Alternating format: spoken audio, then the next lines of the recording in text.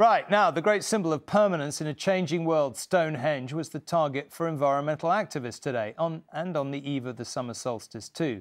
Some of the stones were sprayed with what the Just Stop Oil protesters said was orange cornflour that would wash off in the rain.